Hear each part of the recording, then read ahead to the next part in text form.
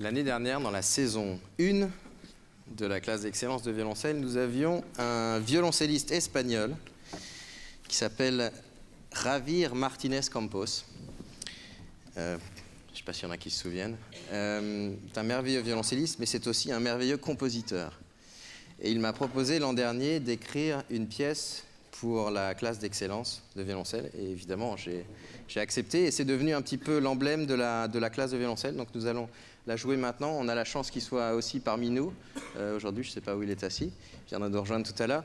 Et euh, aussi une merveilleuse nouvelle qui, s'est concrétisée il y a quelques jours. Il vient d'être euh, édité, vous pouvez le voir sur les pupitres, par les éditions Biodo. Donc voilà, je suis très heureux que cette pièce, qui soit un peu l'emblème de la classe, soit aussi éditée et puisse être jouée par d'autres violoncellistes. Merci.